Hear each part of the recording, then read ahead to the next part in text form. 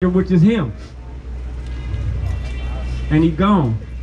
Physically, his music is still here. His memories is still here. The weed is still here. It's him. You know what I'm saying? Physically, he gone. You know, I heard what y'all said about the Freestyle Fellowship. He started, you know, did and create all that. The last album he made, we made together called The Residue Dogs. So y'all got some new music coming from him as well. Documentaries. That's damn near seven, eight years worth of footage. You know, everybody that participated in the Turf Market from the first one in Gardena to today. Everybody that came and spent money and, and appreciated him. He's you know, he walking around here, we just you see uh, whatever smoke you see, just that's him. It's, he flows. That's him. That's him, y'all. All right, my time up. Thanks.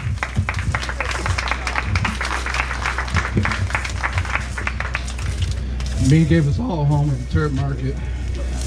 Five months ago, I lost my dad to cancer. Me told me to pack up and come down to Vegas. He gave me a home, an actual home. And to lose him like this, right after I lost my dad, is way too soon. I lost my father, and I gained another father figure. And I feel obligated. I gotta come out here and say something because I know he's here with us, smoking and listening. Thank you, Meen Green. Thank you for everything you did for everybody here. He's one of the most kind-hearted people I've ever met in my life. Thank you.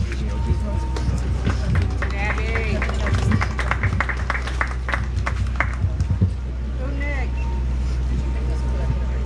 Ray Ray. Ray Ray. Shit, hold up, Red Red.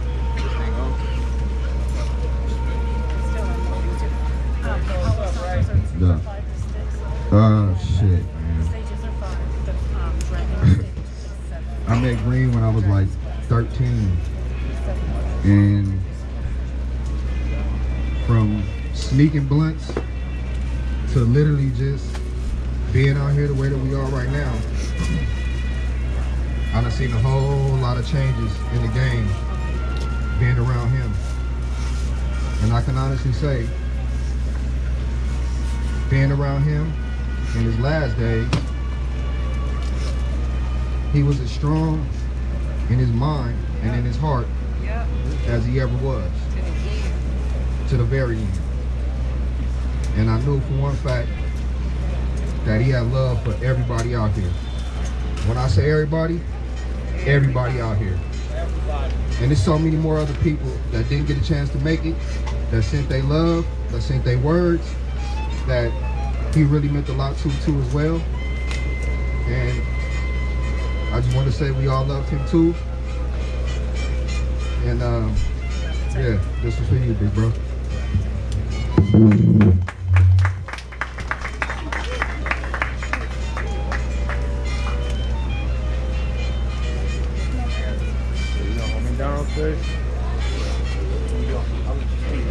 Hey guys, I just want to make a. We're gonna keep uh, having people speak, but uh, Jessica wants everyone to know we got posters here, commemorative posters. I believe it. Uh, who is the artist of these posters? This wonderful lady right here. Give her a big round of applause. She does this wonderful work. We got all kinds of artwork here in honor of Meen Green and photography. So feel free to stop by and pick up one, you guys. Here you go. Uh, first off and foremost, uh, I'd like to thank everybody for coming out. Major shout out to Turf Market for putting this together. For uh, those of you that don't know me, I'm up here on behalf of the Seedless family. Uh, shit, y'all might y'all could love me and hate me. You might hate me for all the posts. It was actually me and Frank, our production manager at the time. Uh, me and Green did sales together, smashed all the shows together. Uh, I trained him initially, but he, he trained me longevity. And if that means something to any of y'all, if this, uh, if there's no eyeballs in your head, look, around. I could never take the fucking game to where, where the fuck he's doing shit now. And the marathon don't ever stop. He might not be here in the flesh, but look at this shit. This is a beautiful thing. He took the game way, way further than any of us have ever imagined. way beyond some damn clothes. No disrespect to Seedless, but fuck some punk ass damn clothes. He done elevated the game, the clothes, shoes, custom shoes, glass. If you was trying to get it, then we was getting it together. And that's that's the way the Big Brody got down. And man, I call him Big Brody because uh, on some real ass shit, he treated me like I was his biological little brother. And we we done been through some times together, for the better, for the worse. Uh, shit, I used to get paid to skateboard. He would always be on my head so fucking tough about drinking. I'd be like, man, why the fuck is this dude on me so tough? Why the fuck does he care so much? And I already knew he was on the cover of the Source. I'm a hip hop head, you know.